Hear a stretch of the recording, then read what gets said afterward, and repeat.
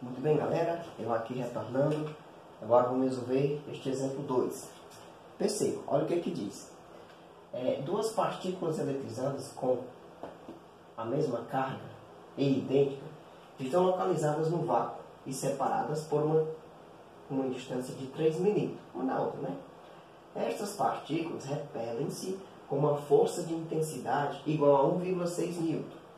O valor da carga destas partículas pode ser quanto? 1610 a menos 16 coulomb, 8,010 a menos 8 coulomb, 4,0 vezes 10 elevado a menos 16 coulomb, ou letra D, 4,0 vezes 10 elevado a menos 8 coulomb. Muito bem. Esse problema agora nos revela uma, um grau de dificuldade maior, porque é, não deu o valor das cargas, que é, e é, e é isso que eu estou procurando, né? Só que aí, ó, vejamos que ele nos diz que as cargas são idênticas, né? São a mesma. Aí nos deu a distância, que vale 3 milímetros, né? a força, que vale 1,6, é, e nós vamos considerar que elas estejam no vácuo, onde a constante está aqui, ó, no vácuo, onde, embora não tenha aparecido no texto, mas a gente já sabe que, é aquela, que, que a constante eletrostática de carga no vácuo vale é, 9 vezes 10 elevado a 9 Newton, Newton vezes metro quadrado por quadrado. Né? Pois bem, então vamos tirar as informações, como de costume. Primeira coisa que a gente faz é tirar os dados. Pelo problema, pode-se dizer que é, a carga Q1 é igual à carga Q2. Tá certo? Só que eu não sei quanto é, nem quanto é que vale Q1 e nem muito menos Q2. Mas como são iguais, eu vou dizer que Q é igual a Q2, que eu vou chamar de Qzinho. Posso chamar de X, de Y, de Z, que eu achar conveniente, certo? É, a distância entre essas duas cargas localizadas no vácuo é 3 milímetros. 3 milímetros, e aí a gente lembra que precisa converter para metro. E 3 milímetros é 3 dividido para mil do metro, que vale 0,03, né? 0,003 que eu posso escrever como sendo 3 vezes 10 elevado a menos 3 do metro. Né? Outra coisa, nos diz que a força de interação entre elas vale 1,6 newton. Né? Aí eu quero saber quanto é que vale essas cargas. Lembrando que a constante é igual a 9 vezes 10 elevado a 9 Newton metro quadrado por coulomb quadrado. Pronto. Agora vamos resolver. Vou fechar aqui para que a gente possa resolver. Utilizando mais uma vez a lei de Coulomb, a gente pode dizer o seguinte, que a força de interação entre essas duas cargas, Q1 e Q2, que são iguais a Qzinho, é igual a K0 vezes o módulo de Q1 vezes o módulo de Q2 dividido pela distância entre elas ao quadrado. Correto? Vamos ajeitar as coisas. Posso ainda dizer que a força vai ser igual a constante vezes Q1 eu estou chamando de Q, Qzinho, certo? Q2 eu também estou chamando de Qzinho. Vou fazer aqui passo a passo para vocês poderem compreender bem direitinho. Dividir pela distância entre elas ao quadrado. Olha, perceba comigo. Se eu resolver é, essa partezinha aqui, Q vezes Qzinho vezes Qzinho, nós vamos encontrar Qzinho quadrado. E já, é exatamente isso que nós vamos fazer. Para ficar assim, ó. F igual a K0, Qzinho vezes Qzinho dá Qzinho ao quadrado, dividido por D ao quadrado. Pronto, daqui para frente eu posso fazer de duas maneiras. Ou já substituir logo os valores e depois isolar o Q quadrado para em seguida tirar a raiz quadrada dele e determinar seus valor, seu valor, ou então posso logo isolar é, algebricamente. E é isso que eu vou fazer, eu acho melhor. A gente faz assim, é, imagina-se que aqui tem 1, multiplica seus meios pelos extremos, de modo que fica dessa forma. Q vezes Q quadrado vezes 1, aliás, K0, né? K0 vezes Q quadrado vezes 1 dá, claro, K0 Q quadrado. Isso vai ser igual F vezes D quadrado obviamente, f vezes d quadrado. Vamos isolar o q quadrado. Isolando ele fica assim. Como esse caso já está multiplicando, certeza vai para o outro lado dividindo. Então fica q quadrado igual a f vezes d ao quadrado dividido por k0. Certo? Essa é uma expressão que nós fizemos a partir da lei de Coulomb para determinar o valor da carga. Com isto, agora eu tenho condições plenas de substituir e resolver o nosso problema. Observe. Q quadrado vai ser igual a F, que é 1,6, vezes o B quadrado, que é 3 vezes 10 elevado a menos 3, todo mundo ao quadrado, dividido por K0, que é 9 vezes 10 elevado a 9. Perceba que a grande saída da, da questão é essa. É essa aqui, ó, dizer que Q1 é igual a Q2, que é igual a Qzinho. Certo? Da agora em diante é só matemática barata. Resolvendo, repito esse termo, vírgula 6, e resolvo aqui. 3 vezes 10 a menos 3 ao quadrado, já fazendo uma conta parecida com essa. Isso equivale a, a dizer que é 3 ao quadrado, que é 9, vezes é, 10 elevado a menos 3 elevado ao quadrado, isso aqui é potência de potência. Nós vamos repetir a base e multiplicar os expoentes. Aí fica assim. 10 elevado menos 3 vezes 2, menos 6. Dividido por 9 vezes 10 elevado a 9. É? Pronto. Olha o que aconteceu. Eu posso simplesmente cancelar esse 10 aqui. Aliás, esse 9 do numerador com esse 9 do denominador. É, restando apenas q quadrado igual a 1,6. É, aqui eu já vou também trabalhar com essas potências. Divisão de potência de mesma base vai resultar em fazer assim repetir a base e subtrair os expoentes. Menos 6, menos 9, menos 15. Né? Pronto. Agora eu vou tirar a raiz quadrada. Vai ser igual, a Qzinho vai ser igual a raiz quadrada de 1,6 vezes 10 elevado a menos 15. O problema, meus queridos, é que fica chato eu tirar a raiz quadrada de expoente ímpar. Então o que, eu preciso fazer? Dar um jeito de torná-lo par. Para isso que eu vou fazer, eu acho melhor. Aí eu tenho duas possibilidades. Ou eu mover a vírgula para frente para subtrair um lá do expoente, porque tem uma regra que diz toda vez que eu levar a vírgula para frente, subtrai um do expoente, cada casa que andar. E a outra, toda vez que com a vírgula eu voltar no expoente, eu vou somar cada casa que andar, certo? Até rima. Então, eu vou usar esse artifício para fazer assim, ó. É, vou levar a vírgula para frente uma casa. Se eu levar a vírgula uma, uma se, eu, se eu levar essa vírgula uma casa aqui para frente, eu vou subtrair um do expoente, ó. Leva para frente, subtrai do expoente. Se voltar, somar cada casa que andar. Então fica que vai ser igual. Quando eu levar essa vírgula está entre 1 e 6, quando eu levar ela para a direita, para frente, vai ficar 16. Então, como eu levei como eu levei essa vírgula uma casa para a direita, soma mais um, né? Opa, levei para frente, então que eu levo para frente, subtrai do expoente, então fica é, 16 vezes 10 elevado menos 15 menos 1 menos 16.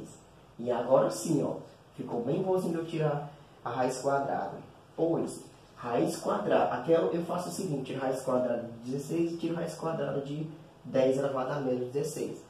Tirando a raiz quadrada de 16, é 4. Para enfeitar, eu chamo 4,0. Vezes. E a raiz quadrada de 10 elevado a menos 16, o que, que você faz? Você pega esse 16 e divide pelo índice da raiz, que é 2. Então, menos 16 dividido para 2 dá menos 8. Esses 10 elevado a menos 8, a unidade da carga é Coulomb.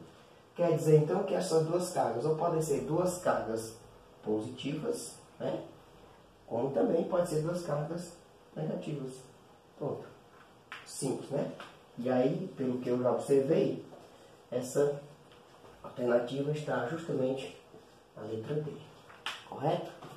Deu uma analisada, tira o print para você dar uma olhada com calma e aí vamos para o terceiro exemplo. Correto? Show. Terceiro exemplo agora.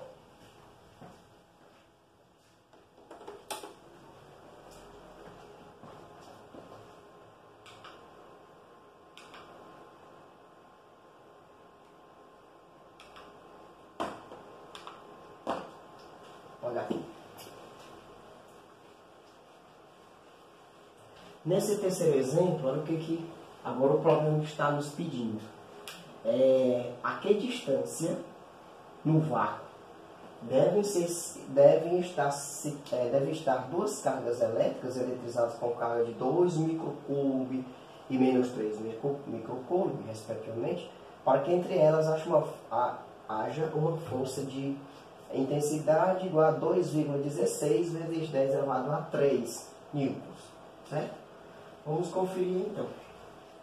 Mais uma vez, o que a gente precisa aqui é determinar os valores é, das informações que aparecem no texto. E estes valores nós vamos chamar de dados do problema.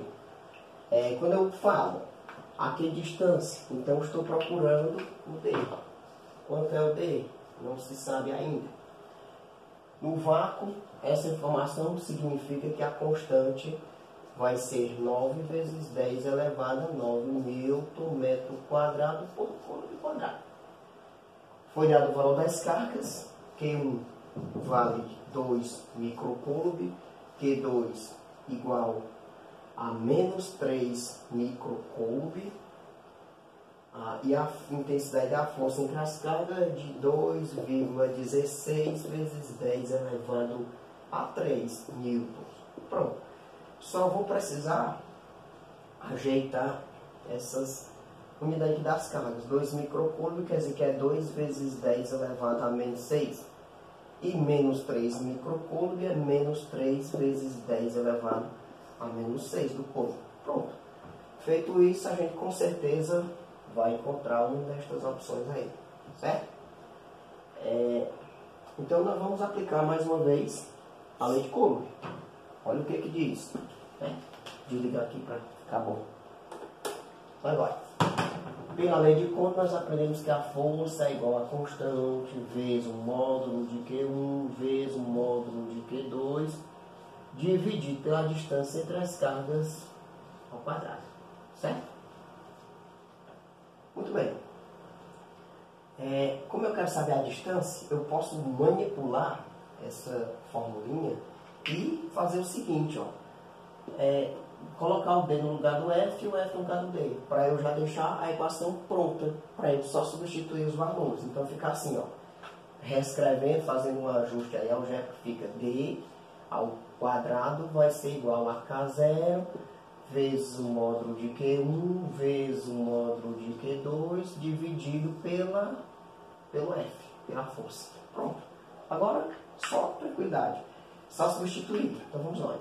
Então D ao quadrado, não esqueça que no final você precisa tirar a raiz quadrada, porque aqui está D quadrado, igual a constante 9 vezes 10 elevado a 9 vezes módulo de Q1, 2 microcoulomb ou 2, 10 a menos 6, vezes módulo de Q2, embora seja menos, mas não vamos colocar o menos. Só 3. 3 vezes 10 a menos 6, dividido pela força, que é 2,16 vezes 10 elevado a 3. Pronto.